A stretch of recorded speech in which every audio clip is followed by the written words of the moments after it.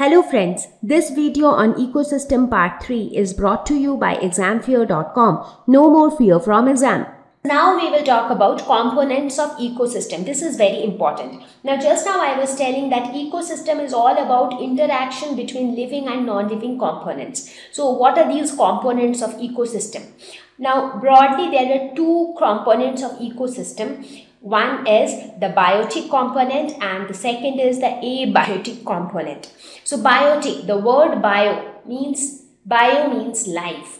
So the living components are called biotic components and abiotic means non-biotic. That means non-living components. So the non-living components are fall under abiotic components and the living components fall under the biotic component. So now we are going to discuss in detail about the biotic and the abiotic components of ecosystem.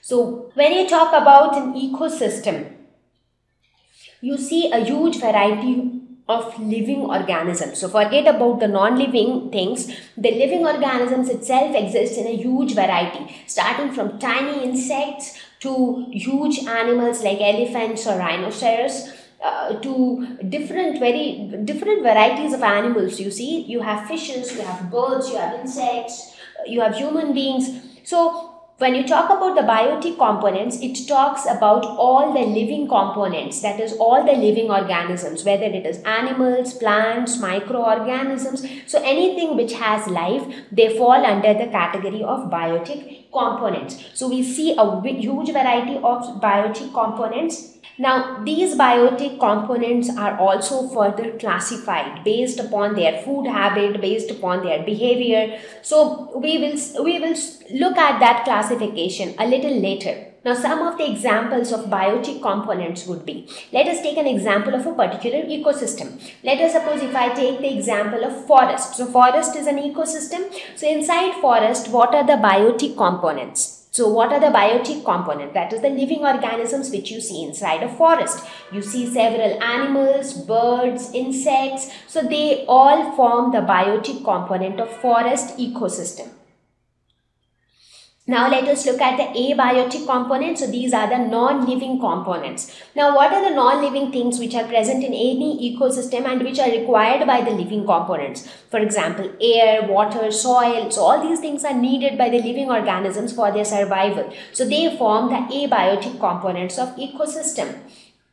So let us take the same forest ecosystem. So in the forest ecosystem, what are the abiotic components? Soil, water, air. Do you think without any of these, the organisms will be able to survive? No. See, plants are directly dependent on soil, water. Again, animals are also directly dependent on water, air. So these components, the abiotic components play an equally crucial role because without them, the biotic components are not going to exist.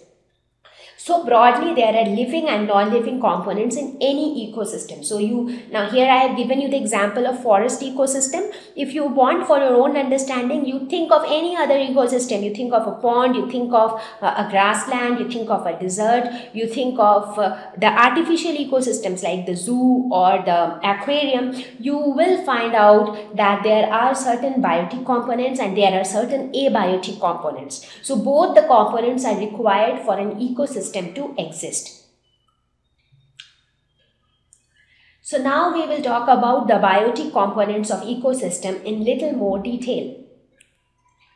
So now here in this section we will look at the further classification of biotic components. That is we will see that how further the living organisms have been classified into different groups based on their different food habits. So the living organisms that is the biotic components are classified into three groups based on how they derive their food from environment. So let us quickly see what are these three groups. These are producers, consumers and decomposers. So broadly these are the three groups into which the different living organisms have been categorized into. So here we have the producers and here we have the consumers and these are the decomposers. Now what do we mean by each of them? Producers, those who produce food. So they are the ones, the green plants are the ones who produce food. Consumers, those who consume it. So it, it has been prepared by somebody else and somebody else is eating it. So that is called consumer. Like you can just take an example what happens at your home now one person in the house prepares food so let us consider that your mother prepares food so she is the producer because she is preparing the food in your house now all those who consume it maybe the family members they are the consumers so in a very similar way here also the plants are the producers and other animals are consumers and decomposers those who help in decomposition of organic matter when a plant or an animal or any other living organism die. So that decomposition part is taken care by the decomposers. Now we will discuss them in detail. So let us quickly start with producers. So producers are those organisms which prepare their own food. Now, just now I gave you example of your mom. Let, you, let us say your mom prepares your food at your home. Now, do you think that in reality your mom is a producer?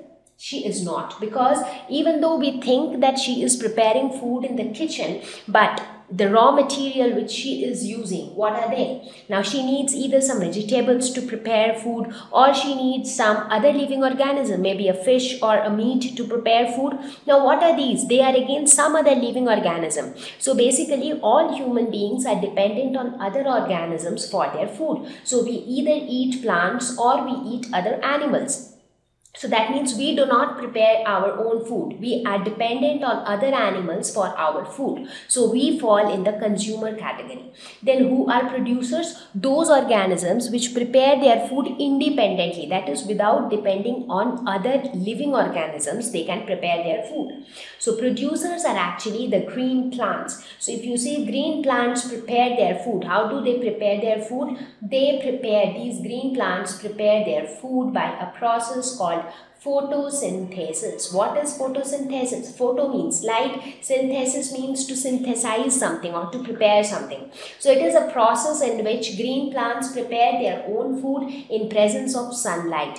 So how do they prepare their food? They utilize carbon dioxide and water and in presence of sunlight they prepare food in the form of glucose and oxygen is emitted in the process. So this is how the process of photosynthesis takes place and it needs sunlight. So it takes place in presence of sunlight and it cannot happen without the pigment called chlorophyll and due to the presence of the pigment chlorophyll the plants are green in color. So this is how green plants prepare their own food. So if you look at the process of photosynthesis they do not depend on any other living organism for photosynthesis to take place. So examples of producers are green plants, blue-green algae, so even blue-green algae or cyanobacteria, whatever you call them. So blue-green algae are also known as cyanobacteria. So they also contain the pigment chlorophyll and that is why they are also capable of performing photosynthesis. So these are producers. Thank you. Please visit www.examfear.com to watch more educational videos with a better experience. Please do not forget to like and subscribe to our YouTube channel for latest updates. Thank you once again.